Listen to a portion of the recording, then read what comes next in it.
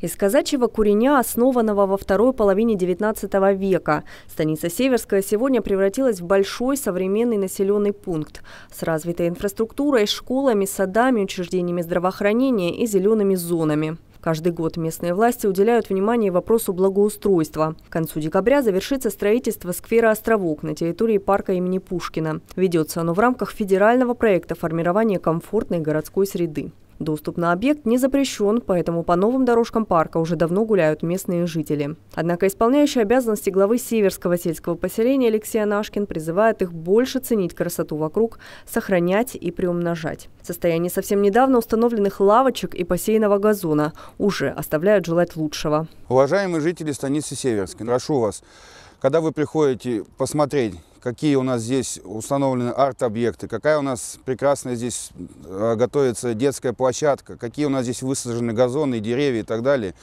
Убедительная просьба, когда вы приходите, не топчите газоны, не вырывайте эти деревья, не портите лавочки. Парк – это, как скажем, подарок э, для вас, для жителей станицы, чтобы вы могли приходить сюда с семьей, отдыхать.